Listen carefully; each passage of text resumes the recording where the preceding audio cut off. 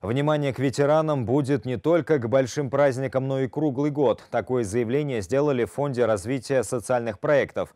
Поддержка по новому направлению ЖЕНИС будет вестись на постоянной основе, говорят инициаторы. И хотя ветеранов с каждым годом становится все меньше, ни один из них не останется без опеки и заботы, сообщили представители фонда.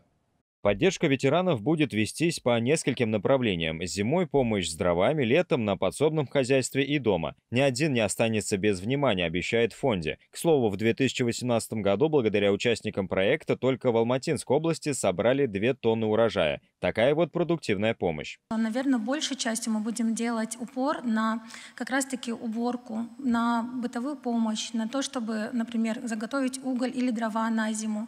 А, я хочу сказать, так как проект существует очень давно. А, в 2018 году мы даже делали такую статистику. Только Алматинской областью было собрано, посажено и собрано 2000, 2, 2 тонны урожая.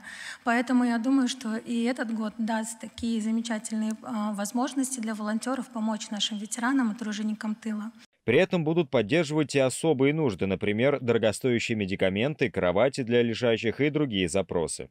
Поэтому волонтеры готовы. Я думаю, что все 35 регионов, они уже а, начинают а, свою продуктивную работу, со, созваниваются с советами ветеранов, готовят списки на согласование тех, которые войдут а, в данную категорию. Мы охватим абсолютно всех ветеранов Великой Отечественной войны, и здесь а, будем смотреть уже труженики тыла, именно социально уязвимой категории, которым готовы помочь.